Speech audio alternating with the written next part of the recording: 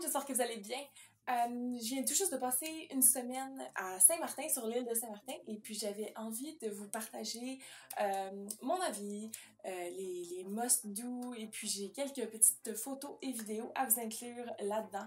Donc si jamais ça vous intéresse, c'est parti. Je veux ajouter que j'ai également séjourné dans un hôtel, donc moi j'étais allée dans un le plus classique choix qu'il pourrait avoir, le Sonesta Mao, donc qui est réouvert depuis l'ouragan, donc on va en reparler. Mais euh, donc ça, étant donné que c'est comme vraiment un classique, c'est pas mal l'hôtel le plus populaire qui est dans sur l'île pratiquement. Euh, j'avais envie de vous en parler, mais ça, on va en revenir dans la deuxième partie de la vidéo. Donc si jamais vous cherchez aussi un hôtel, euh, manquez pas ça. Donc oui, l'île de Saint-Martin, super belle île. Honnêtement, si vous avez la chance de faire une activité en bateau ou peut-être même de vous rendre sur l'île en bateau, euh, je vous le conseille. C'est extrêmement beau de, de l'île, mais aussi des environs. Donc si vous faites le tour en bateau, ça va être extrêmement beau comme vue aussi. Les plages sont super belles, euh, l'eau est très très calme, pas mal sur toutes les plages de l'île. Donc oui, il y a eu un ouragan, euh, je pense que pas mal tout le monde est au courant maintenant, en 2017. Et puis euh, l'île avait eu besoin de beaucoup de temps pour s'en remettre. Donc là, moi, je viens tout juste en 2019 d'y aller. Ça faisait vraiment juste quelques mois qu'on avait recommencé les vols vers Saint-Martin, donc c'est tout nouveau. Puis je peux vous dire que honnêtement, ça paraît presque plus qu'il y a eu un ouragan. Du moins, dans les sections vraiment très touristiques, sont très subtiles. Donc, je me suis promenée un petit peu sur l'île. C'est sûr que quand on est dans un tout inclus, des fois, c'est un peu moins tentant, mais je voulais vraiment le faire. Euh, donc, on est, on est, l'hôtel, en fait, le Sonesta, c'est sur le côté hollandais.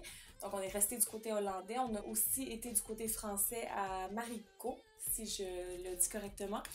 Dans les deux cas, comme je vous dis, si on se promène vraiment dans les zones les plus touristiques, moi, j'ai pas trouvé personnellement que ça paraissait. Il y avait pas de débris ou de maisons euh, détruites ou quoi que ce soit. Mais j'ai des personnes qui m'ont dit que si on allait vraiment plus dans les sentiers non battus, on va dire, euh, que là, à ce moment-là, euh, ça se pouvait effectivement de voir un petit peu plus les, résultats de l'ouragan. Mais de manière générale, je vous dirais que ça m'a très bien sorti en, très peu de temps. Pour se promener d'un côté et de l'autre de l'île, euh, le plus simple, c'est vraiment d'y aller par autobus. Euh, super sécuritaire. ça, ça va pour toute l'île au complet. Dès que tu te promènes dans la ville, je vous dirais au moins dans les grands centres touristiques, on se sent vraiment en sécurité. Euh, la première journée, quand je suis sortie, j'avais ma caméra qui vaut quand même cher. Je voulais super gros la protéger, je capotais, j'avais peur, je la mettais dans un sac en particulier. La deuxième fois que je suis sortie, je la laissais autour de mon cou parce que je savais que, ben, pas que je savais, mais j'avais vraiment pas l'impression que j'étais en danger au moins. Donc oui, les autobus, en fait, comment ça fonctionne? C'est pas vraiment des autobus que nous on les connaît, c'est plus des minivans, on va dire, euh, entre 6 et 10 personnes. Vous donnez de l'argent au chauffeur. C'est 2 par trajet. Euh, par contre, pour si jamais vous êtes déjà du côté hollandais puis que vous voulez vous rendre du côté français, il va falloir s'arrêter à Phillipsburg, prendre un autre autobus. Donc pour traverser la zone hôtelière à Marigot, c'est deux stops, donc il faut penser à 4 dollars par personne. Euh, même chose si vous faites le, contrat, donc si vous partez de Marigot puis vous voulez par exemple aller euh, sur la fameuse plage où est-ce que tous les, avions vont, ça va être deux stops aussi, mais de manière générale c'est 2 dollars par personne. Donc très, très cheap. Euh, puis comme je vous dis, on se sent vraiment en sécurité. On se promène avec les locaux, il hein, n'y a pas de problème. Puis d'ailleurs, une autre chose qui est vraiment très intéressante aussi à Saint-Martin, euh, les gens qu'on croise dans les, autobus, ça vient d'à peu près partout. Euh, ça parle tous les langues. Donc on a entendu du français, on a entendu de l'anglais, on a entendu une espèce de semi-Dutch, en tout cas je j'ai pas vraiment reconnu à 100%. J'ai entendu de l'espagnol, puis j'ai entendu du créole. Ça, c'était vraiment juste dans ma semaine à moi. Donc, euh, très multi, multiculturel comme vous. Moi, je vous recommande de vous arrêter au moins dans ces deux villes-là, donc Phillipsburg et Marigot. Euh, les deux se ressemblent un tout petit peu dans le sens que les deux, vous allez pouvoir... C'est des petites rues, encore une fois, très sécuritaires, où est-ce que vous allez marcher puis trouver des tonnes de boutiques. C'est vraiment principalement pour magasiner, euh, s'arrêter, prendre un verre ou un, un petit lunch devant le port ou devant l'eau, c'est super beau. Euh, Phillipsburg, il y a le port où est-ce que tous les croisières vont. Donc, si jamais vous voulez voir un bateau de croisière débarquer ou juste voir le port, parce qu'en général, c'est très, très joli. Donc, euh, ça, je vous le conseille. Puis à Marigot, en fait, euh, l'attraction qu'il y a vraiment à faire, selon moi, c'est d'aller au Fort Louis. Donc c'est euh, sur la montagne de Marigot.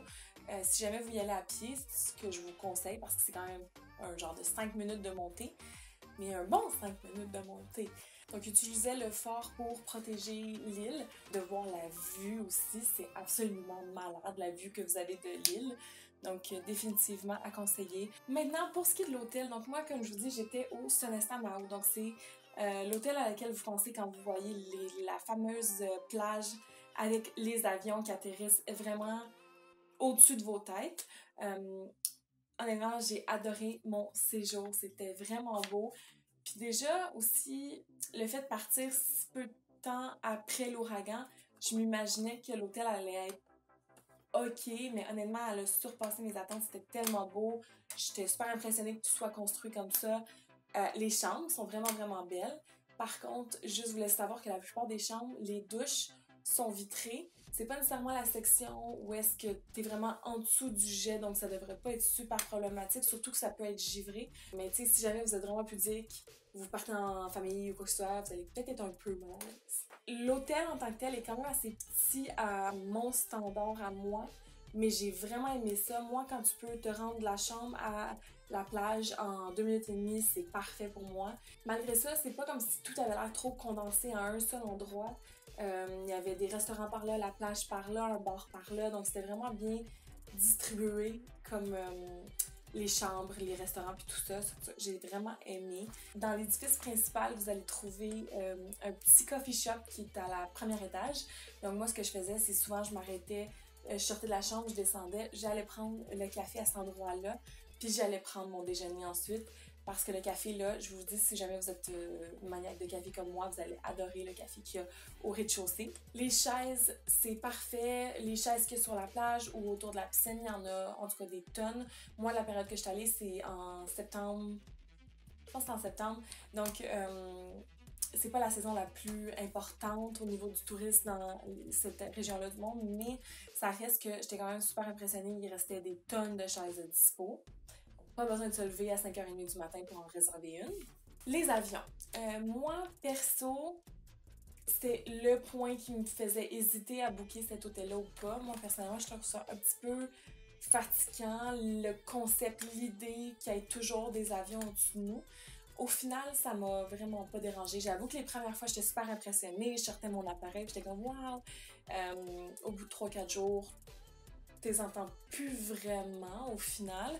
Euh, puis c'est les gros, gros, gros avions, ils passent comme trois fois par semaine à peu près. Fait de manière générale, ça va être vraiment plus des petits avions qui vont voler au-dessus.